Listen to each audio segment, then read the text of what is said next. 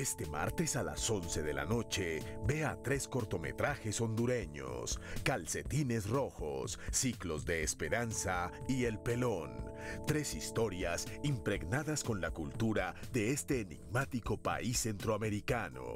El cine de Latinoamérica y el mundo solo en el espejo. Martes y viernes 11 de la noche por Canal Capital, televisión más humana.